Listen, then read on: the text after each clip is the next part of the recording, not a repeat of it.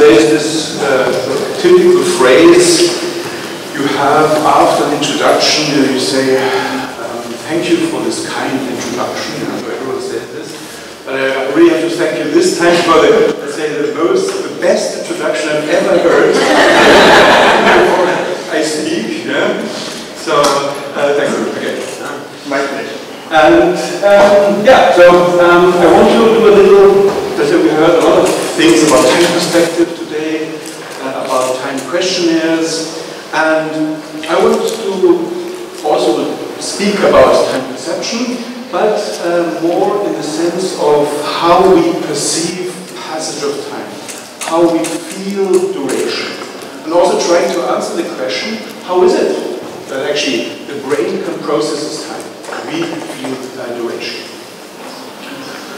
Um, and these will be questions I will be asking. So how do we perceive time? And what is the difference, and that's actually an interesting question, between time perception and perception of seeing, hearing, smelling, because we have all these faculties where we have a sense organ, like the eyes, we have a representation in the brain, like the visual cortex, and there we have very clear structures and functions of how we process these certain sensory faculties, but not so with time. But still, we talk about time perception, and we actually not only talk about time perception, we, we can really feel subjective time, we can feel passage of time. But how does this happen? And then, of course, uh, related, I will be talking about factors that influence it, subjective time, sometimes it speeds up, sometimes it slows down. And uh, at the end, I will also talk about uh, extreme cases, extreme states of maybe where you feel no time. There is no time, the question is this possible? And so my agenda is, first of all, the structure of my talk will be, I will first talk about uh, the cognitive model of time perception. Isabella already showed uh, this and block model, I will show a little bit about research and applications around this cognitive time perception model. And I, also want, want, to make a link to the time perspective, this, these ideas we heard about today a lot, as an individual trait. So how to connect time perspective as trait with time perception as state. And then I will talk about my own uh, theory of how we come to our feeling of uh, duration, of, of a passage of time, and this will be of my theory about embodied time. Yeah? And I will talk about current and historic evidence related to this. And so my uh, let's say, hypothesis is that body signals actually inform us about the passage of time. And then the last chapter I will talk about timelessness and selflessness, about altered states of consciousness. Why am I interested in this? Not only because altered states of consciousness itself are very interesting to study, if you want to talk about consciousness, to understand consciousness, um, but also because there we have maybe a possibility to actually also understand more how we perceive and so, as a German, my first question would be to the organizers so that I show you I'm very time aware. um, so how long do I actually have, uh, am I allowed to? So we have now half past uh, five, nearly, 29. nearly, 25 minutes. 45 minutes, okay, so I'll try and so organize my uh, talk around this. I could talk longer, but I think 45 minutes should be enough. So first of all, a little background um, of uh, time perception models. And there, an important distinction is... Could you please speak closely to the microphone? Okay, yes. Thank you. So the first um, uh, differentiation is retrospective and uh, prospective uh, time So retrospective means we're looking back at an interval of time, yeah, and there actually is some sort of clear how this works because it's basically about memory contents and the amount of changing experiences that define retrospective for example, if you um, think about the last week, how much... so, it's on you. Okay, and we can of course, I can also take maybe the mic. No, I don't know. So I just, I just continue.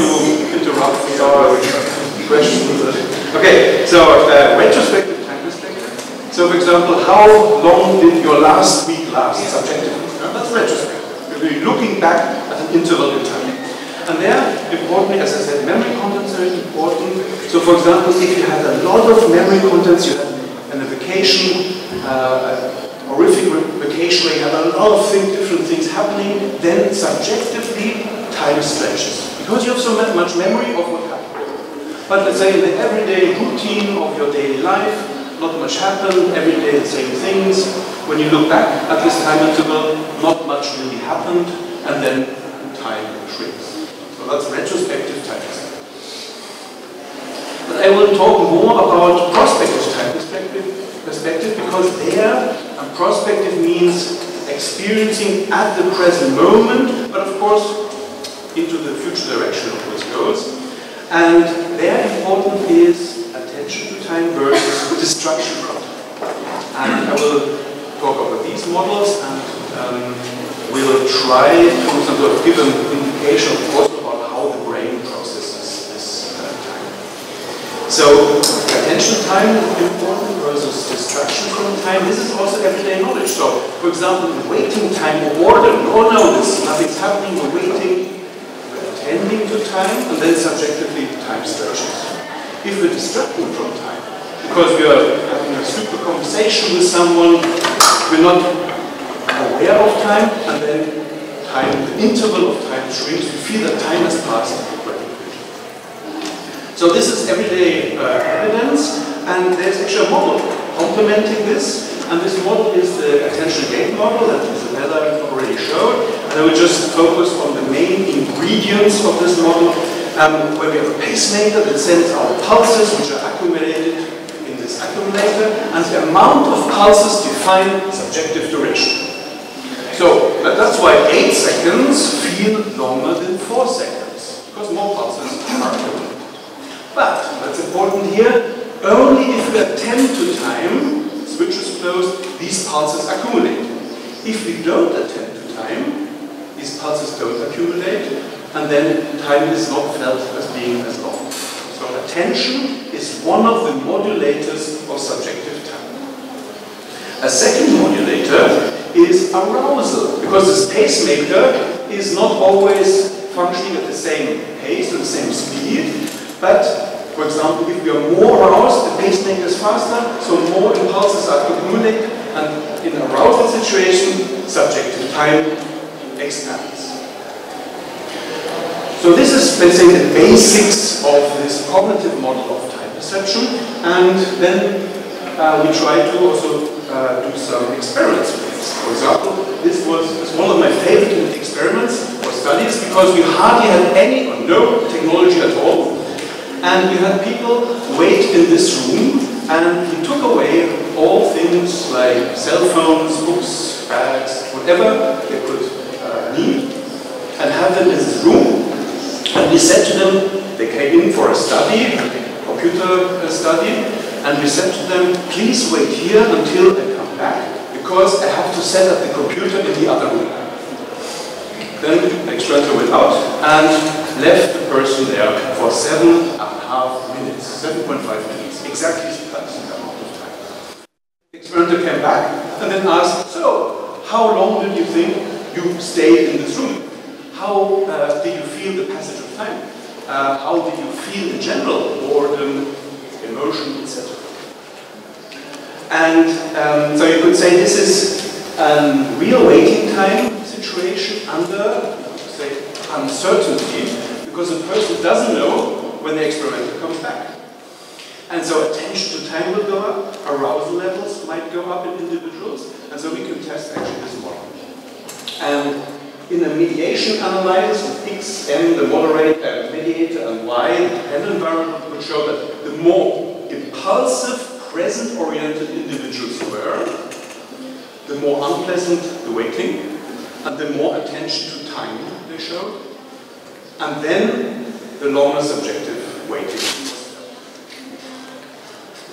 So actually, how do we, how can we measure this? And this is also why I like to be here and, and, and, connect with you, who make some of you may uh, uh, work more on the time perspective, but I, um, ask you to also consider time perception because we have these very strong links between these two domains. So very easily with visual analog scales we can measure, for example, the waiting situation of how often you think about time between not at all and extremely often, the two extreme values.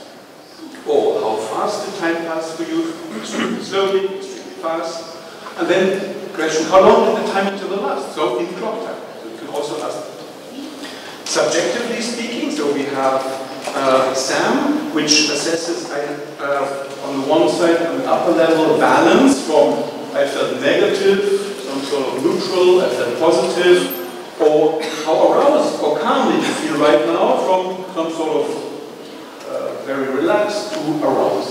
And then you can think about additional other visual analog scales where you think, for example, relaxation. How relaxed do you feel actually? And now going into the details of this uh, waiting time uh, study, um, so we had a trait questionnaire, so you see the impulsiveness scale, the Barratt impulsiveness scale, and then you have the ZTPI, Zimbardo scale with present hedonistic, present fatalistic, and future.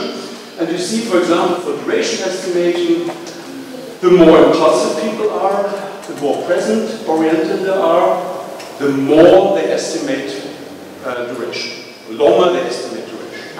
And the other way around, is the future perspective. Um, the more future perspective they have, the, the uh, less long they uh, judge the interval to have. The same with the passage of time, so the other way around. How fast did time pass for you? So the more impulsive they are, the faster time passes.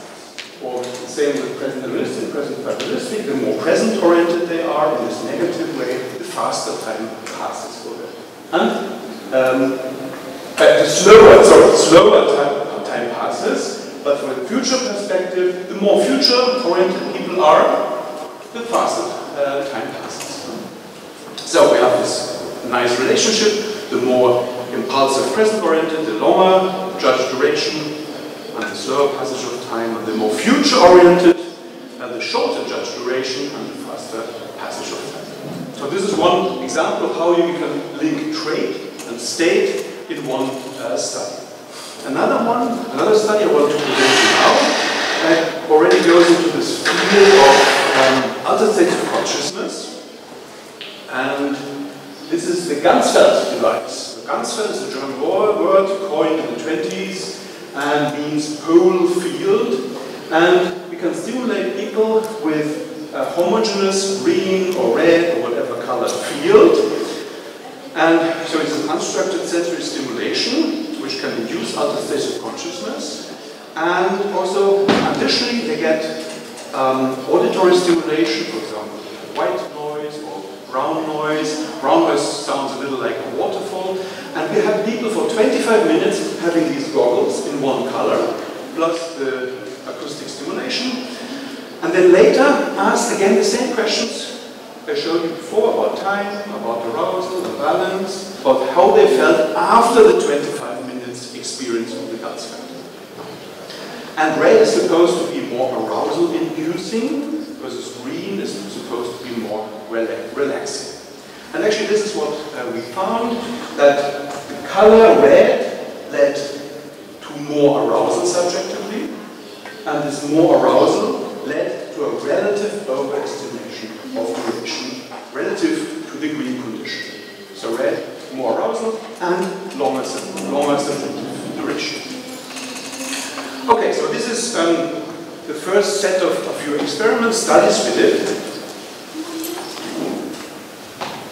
about how you can about how you can use um, the cognitive time model uh, with uh, well, different um, different experiments. But of course, we're still on a very psychological level. And the next question would be: Can we find um, a way to assess how the brain actually processes time? And I want to show you my fMRI research I conducted in uh, San Diego at UCSD, um, where I will show how subjective time and bodily states are related.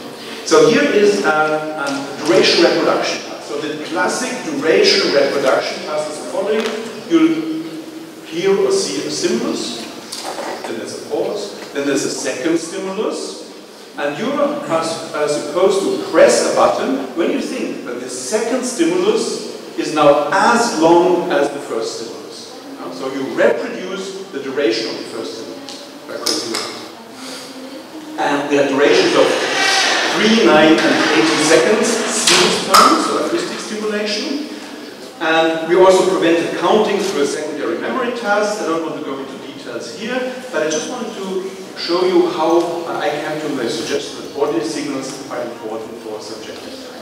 What we found was here in the encoding phase, meaning when they were listening to the first stimulus, that activity in the posterior insular cortex increased over time and it stopped at the end of the interval and went down. So this is the 9 second uh, condition and here's the 18 second condition. So they listen to the tone and only at the end when the tone stopped also this activity uh, went down. So as if the specific brain region, the insula, I will come to in a second to what the insula is about, but this um, brain region codes for duration. Because the longer duration, the more activity we find. So what is the insular cortex actually doing? So this is now just textbook knowledge. So it's a primary interoceptive cortex, uh, which represents the physiological conditions of the body. So it's important. So first, hunger, temperature, pain, all our subjective feelings of the body are represented through uh, the insular cortex, the primary uh, interoceptive cortex area. But also emotions are importantly related uh, to the insula because, as we know, for example, from the James Lange theory, also if you think about Damasio's somatic marker theory, that the interpretation of physiological states is also the basis for complex human emotions. So any emo emotions we have are also, we also have some bodily feelings associated with it. And we have a lot of neuroimaging and lesion studies showing how physiological needs are related to, to the insular emotions, complex decision making. Yeah? So it's a pro-verbal gut feeling yeah? we do complex decision making. But also music perception, which is temporal structure, emotion, on and meditative states, to which I will come later again, is very much related to the So now, next step is we will combine, you know, this funny cognitive model with these boxes and pulses and whatever this was, very abstract.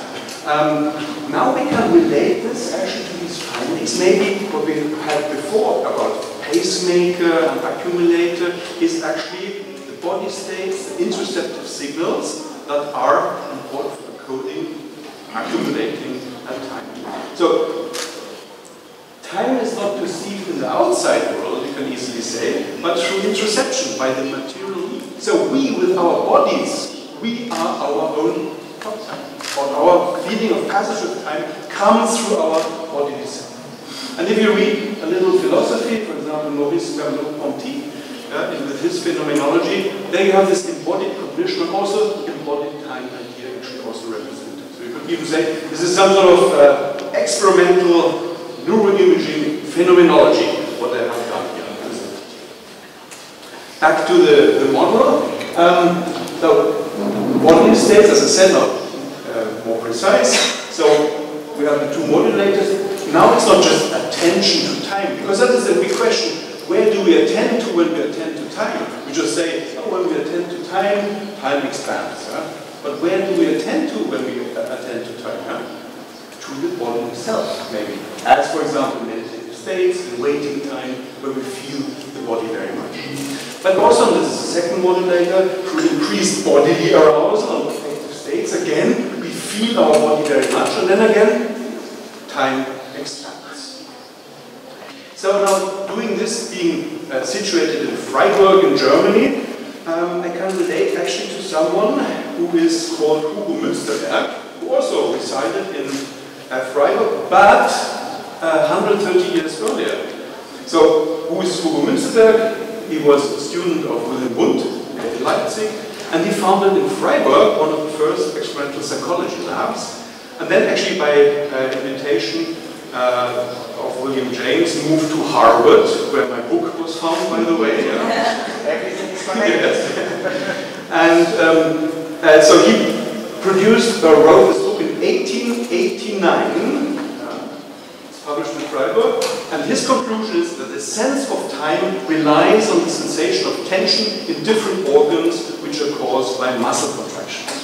And how did he come to this? He did he had the same duration reproduction study I also used, and um, with duration between 6 and 60 seconds, he varied these, and what he showed that the temporal reproductions were most accurate when the onset and offset of these intervals he presented coincided with the breathing in of the subjects. The subjects were not aware of this, of course, but he recorded the breathing in and breathing out, and he found that they were more accurate when the onset of the interval or the offset of the interval coincided with the breathing in. So again, you have this relationship between body and time, already uh, found by Hugo Münsterberg. And so if you now can see there is a big, big literature of hundreds of, even thousands of studies, and if you want to summarize them, they all point to this relation emotions, body, and time. For example, in psychophysics, stimuli with emotional content are judged to last longer if they are arousing emotionally. Individuals with high body temperature or fever, they overestimate time. And also time perception is correlated uh, uh, with heart rate variability. Studies are showing this. So you just record heart rate variability, and it shows that the more var variability in individual subjects, the more accurate people are. And then beginners of meditation, I don't know if you have meditated, I have tried, I continue because I have so many colleagues who also uh, meditate, but actually you feel very much time as a beginner. Yeah? Just, just imagine sitting there 30 minutes doing nothing. What do you feel? You feel your bodily self and time moves very slowly. This changes later in experienced meditators, where then that you lose some sort of sense of time. We'll talk about this a little later. But then also, uh, surprise, effortful, effortful uh, emotional self-regulation. So you're in the flow of time in your everyday life, everything happens and moves, and time passes quickly, but then suddenly you stumble and something surprising happens, and you're in this present moment, you, you regard it, and then uh, you overestimate also the duration. Okay, in between, uh, while I uh, drink a little water, uh, for my homeostasis bodily, there's a little quiz for you. So here is um, a study we did with three different video clips we presented uh, to subjects. We presented it in uh, all together in the sequence one, two, three. Every, of course, balanced sequence to every subject differently. And we showed them Ice Age, so a funny cartoon, we showed them a documentary about the city, and we showed them the Blair Witch Project, uh, which is a horror movie. Actually, a very exciting, really thrilling uh, horror movie, uh, which induces quite some anxiety. And the question was, what do you think, which of these um, video clips, all lasting 45 seconds, physically speaking, uh, was judged to be the longest, and which one was judged to be the shortest? What do you think?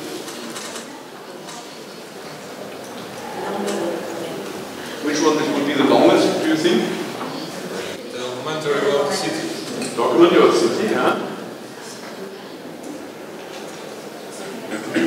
The Blair Witch Project. Uh-huh, Blair Witch Project, yeah. Yeah, mm-hmm. yeah there's, these are typically the two answers uh, that appear, and there's good reasons why you could predict this. Um, here is now the results. First, uh, look at the gray bars, not the dark bars, the gray bars. You see, estimated time interval is here on the y-axis, and you see that the Blair Witch Project, so the fear content, was judged as longest relative to the documentary, neutral content, content relative to the cartoon, which is the amusement content. So time flies when you're having fun. Actually, is represented through our study, yeah, because this nice flowing cartoon, yeah, nothing really, it's a cartoon also, kids cartoon, and this um, is judged to last uh, the shortest. And then the question, of, but the fear content more than neutral content, that could be probably the anxiety-induced arousal system that um, uh, makes this uh, And then we had a second study, same study with different subjects, but this time we ask them, uh, yeah, different subject, this time we ask them, while you're watching, write down what you feel physiologically in your body while you're watching. And then you see this is the interoceptive focus, the dark bars. There's an even stronger effect for the Blair Witch Project and an even stronger effect in the others in the other direction for the. So um, I will skip one slide. So having another um, uh, yeah, um, topic to open up. Remember we're talking about subject time, about emotion, and uh, bodily feelings. So in psychopathology, uh, time perception was a very important, um, let's say, area where I am also conducting studies. What you find in many patient groups uh, is so patients with depression, anxiety, uh, also drug-dependent uh, individuals in rehabilitation, uh, that people tend to overestimate duration. They feel a slowing down of time. That's actually one of the uh, important uh, symptoms depressed people feel that time does not want to pass, and they feel or they feel stuck in the present. And also um, impulsivity as a symptom of psychiatric and many neurological symptoms uh, for example, borderline personality disorders, but also with patients with lesion to the orbital frontal cortex have shown that this impulsivity in these patient groups correlates with a relative uh, overestimation of duration.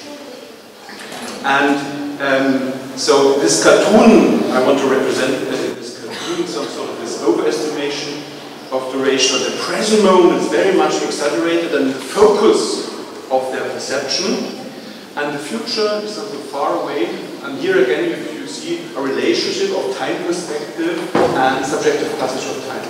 So um, this over-representation of the present moment leads to a relative overestimation of duration, and at the same time, the future uh, events are far away and are less represented uh, in the present moment. Um, talking about neurological um, cases. So there's a one strike. So I'm always interested in archaeological diggings, archaeological findings. Going back, I showed you the Hugo Münsterberg um, study. Now there's also a study uh, where I actually could use my school French, so I could, could actually read it. And it's a study uh, by um, Gabriel Revault d'Allonnes, a French psychiatrist who worked in the Sainte Anne Hospital in Paris and he published a paper in 1905 where he describes this individual patient, Alexandrine, who had really a remarkable correlation of symptoms. So first of all, she had no sense of bodily feelings and urges. how many, she didn't feel hunger, she didn't feel when she was finished with the meals, she did not feel thirst, did not feel to urinate, she did not feel fatigue.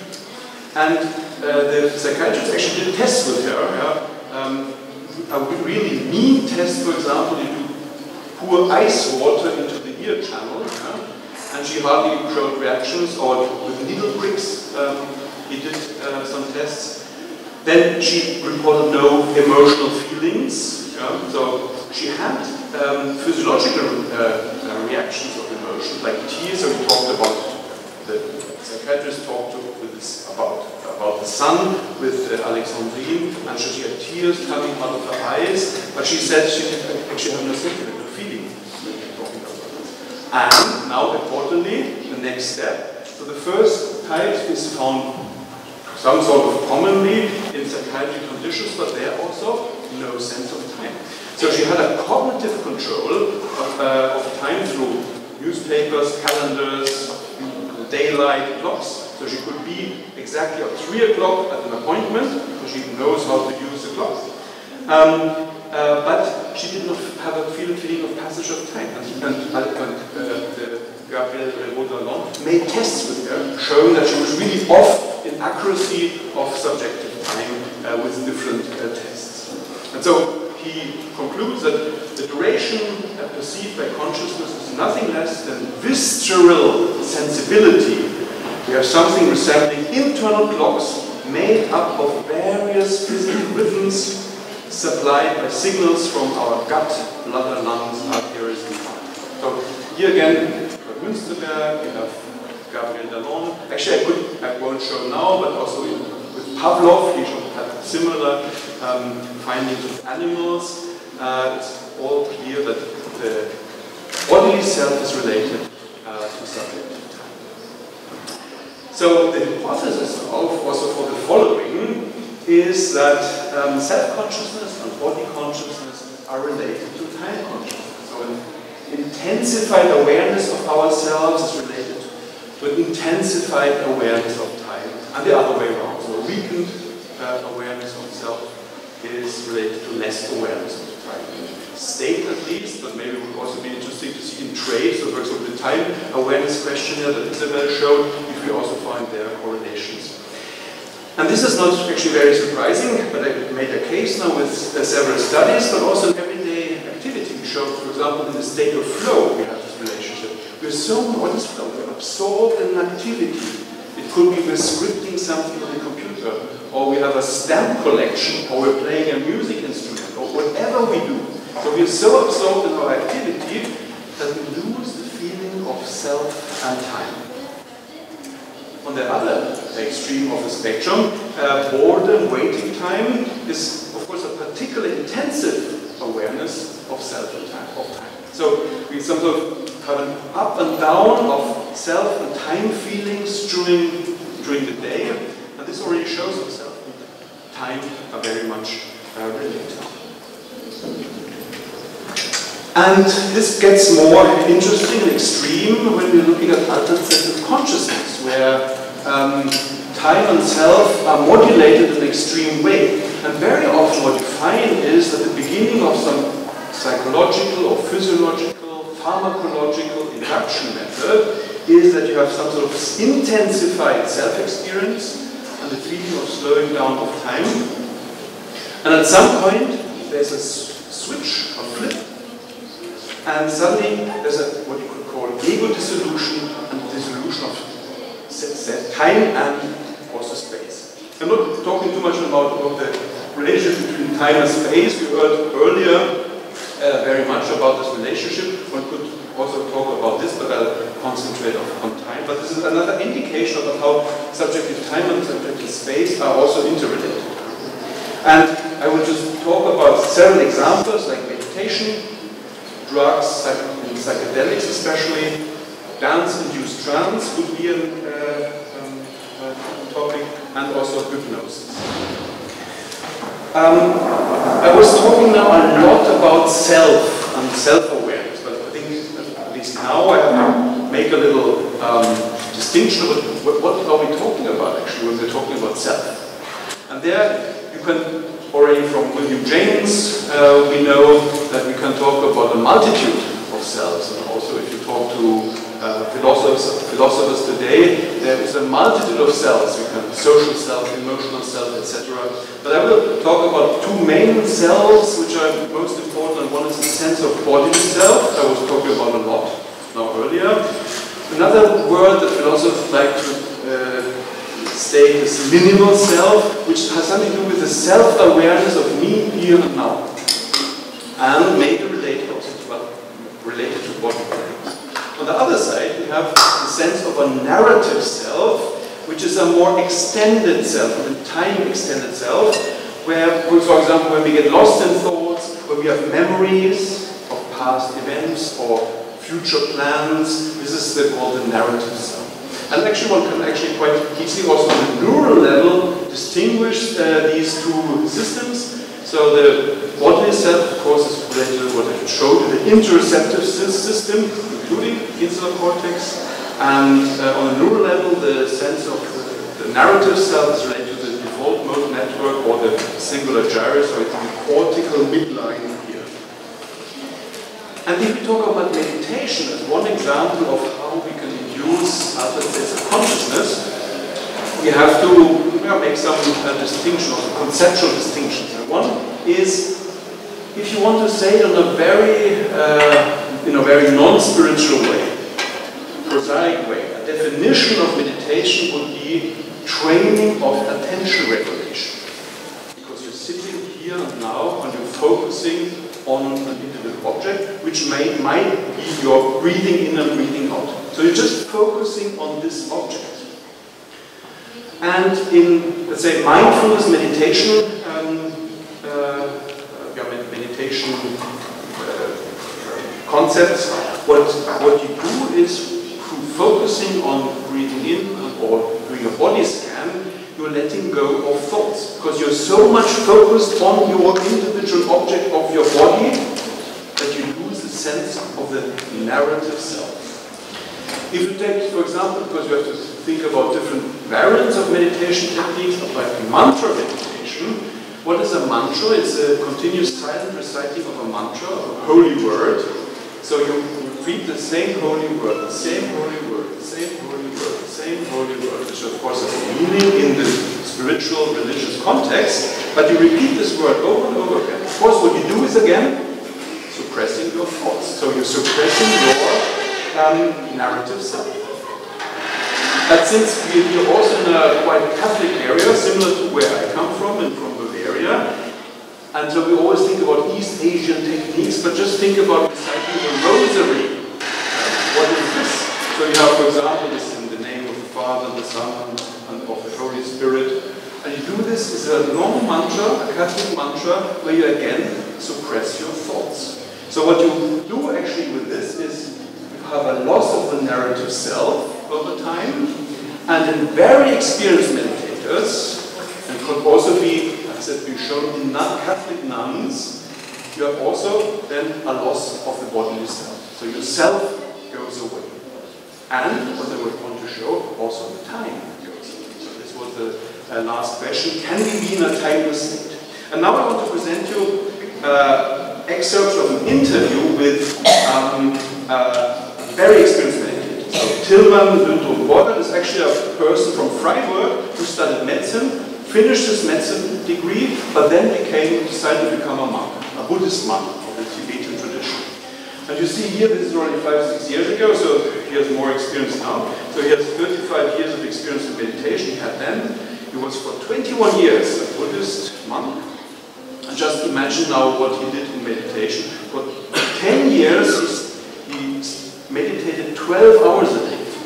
So there's no Saturday, Sunday, or anything. So but for 12 years, every day, 12 hours. Like, tried to calculate his experience, and came to much more than 50,000 hours of meditation.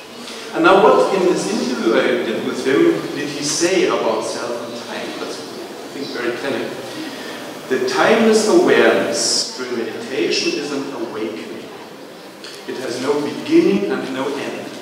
This timeless time is an immersion into a being where no comparing happens. When we are comparing, there are always relations between a before and after, so as time. It is timeless presence without the sense of an I without observer. Perception and perceiver are one. So that's actually what we call also non-dual consciousness. So you see, actually now in this experience meditator, how in this meditation experience there's no self and no time. Uh, I guess that no one will ever reach this experience, experience in meditation, however hard we try, but there is a shortcut to have at least some experiences of a similar kind. And this, look at the floating tank, uh, I like to call this instant meditation. You're not floating tanks, you are in a tank with warm water, body temperature, exactly body temperature, and it's full of salt, Epsom salt, so you actually float in this water, and you lose your sense of the distinction between self and outer self because of the body, or the body temperature of water. And of course, at the beginning, and then there you have a lid going on top of you. So at the beginning, you have no external stimulation. You don't see anything, you don't hear anything, you don't smell anything. At the beginning, what remains is interoception. You feel your inner self, and mind wandering. You have your uh, inner thoughts, of course. At the beginning, very strong thoughts. What am I doing here? How long will this take? And so on. That is mind wandering. But there's actually one study I can, can cite that prospectively, as one could expect, subjective time slows down for beginners of this procedure because they're totally focused on the interoceptive self. And then time slows down. If you ask them, "Now, how is time at this moment? The but retrospective, when they come out, Because remember my distinction prospective retrospective? Because nothing happened in the floating tank. There's no memories whatsoever, hardly any memories, not nothing really dramatic. So retrospectively, they totally underestimate duration. Similar to what actually experienced meditators also say. Meditators with experience say a 30 minutes meditation was like five minutes.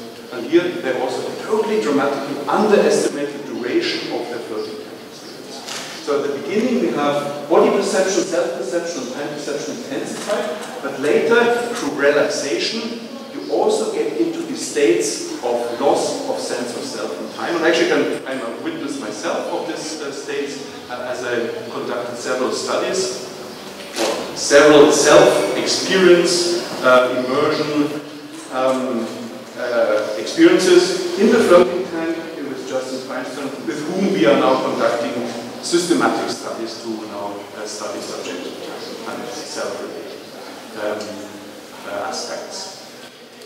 Um, one more um, aspect of altered states of consciousness. Of course, uh, in the last five to ten years, the study of psychedelics like LSD, psilocybin, and also ayahuasca uh, has totally increased. Now, study in countries like US, in England, in Switzerland, uh, in Brazil, there are a lot of studies testing against psychedelics.